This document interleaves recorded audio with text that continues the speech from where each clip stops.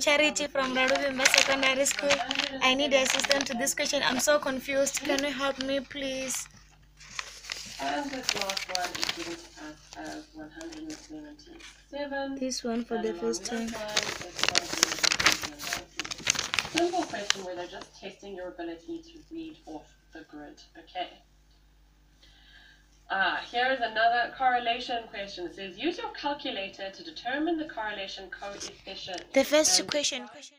It says for the following data set 952336749 uh, 4 10 and 9 determine the mean value of this particular data set please remember that i said to you you don't necessarily need to use the manual version of solving for this and trying to add all the values and dividing by the total number. You don't really need to do that. You can go straight to your calculate. With that one i was just trying to show you how does adding a certain value affect the mean that you had. But for now we can just go straight to the calculate. Remember you need to make sure that it is in stat mode and also we're taking option number one which is one min minus variance. So let's look at that.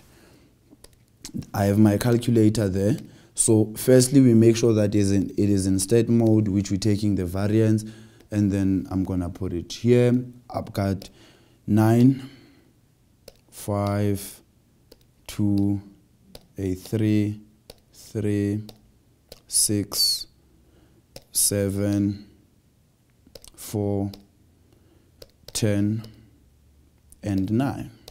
So it says I have uh, 10 terms there. So let's just make sure that we do have 10 terms. That's one, two, three, four, five, six, seven, eight, nine, ten. So we do have 10 terms you just need to try and make sure guys because you know some some mistakes that we make are really unnecessary so that that will be my data set you press your all clear shift number one which is stat we're talking about number one which is uh, number four which is the variance i want the mean so it will be number two which is equal to the x bar so i will say uh, my x bar is then equals to i think it was 5,8 and that will be the mean of this value um, if I was marking this, I would then just do this. Two marks, because you're getting two marks for that, meaning you know how to use your calculate.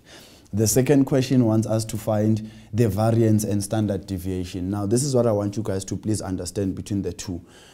Standard deviation squared gives us the variance.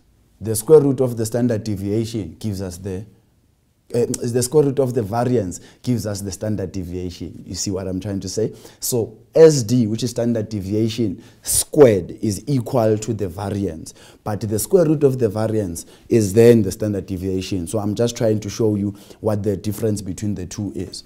Now, what we can find from the question the, the calculator will be what the standard deviation is so i'm just going to go to my calculator remember we press our all clear uh, shift number one and then four and this will then be uh, because i want my standard deviation i take option three it is equal to a 2 comma 71 rounded off to two decimal places right? So the number after the one is less than five so it will just remain one. Then from here, what I then have is this squared will then give me the variance that they want us to find. So this will then be uh, the variance. So this will then be equal to the square root of that will be 2 comma 71 all squared, which is then equal to, so uh, let's just do this, 2 comma 71 squared is equal to a 7 comma 34 so 7 comma 34 and that will be my variance that they wanted me to find now with everything that i've tried to show you here guys it, it had all to do with the two things uh, you finding the mean and you finding the standard deviation. If you know the standard deviation, it means you know what your variance is going to be. So that's what you please need to look at and then determine the percentage of the points within one standard deviation of the mean. Now, within one standard deviation of the mean, it means this is going to be my mean there.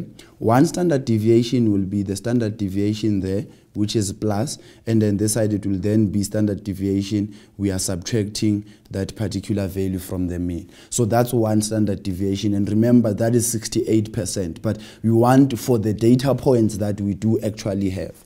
So what then I'm going to do is I'm going to make a range not a range really, but a minimum value and a maximum value that I will check which values fall between those two to try and find how many values are there and what is the percentage of those values. Then to go back uh, quickly, we said our mean, remember we said our mean is 5.8, right? And then our standard deviation is 2.71. So it will be x bar minus the standard deviation so this is then going to be equal to uh, 7,8 minus 2,71, which is then equals to, uh, so I have 7,8 minus 2,71. This is equals to 5,09. So five comma 5,09 that's the, the minimum value. The maximum value will be x bar plus the standard deviation again.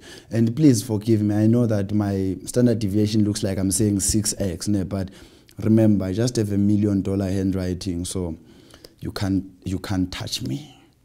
You can't touch this. Do, do, do, do. I'm sorry, guys. You know what maths does to us? It really makes us look like we are lunatics, but in actual fact, we are lunatics. When you know maths, you are not normal.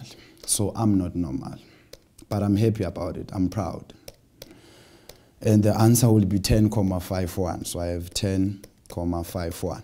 So it means the minimum is 5 and the, and the maximum is 10. So I go back to my data set.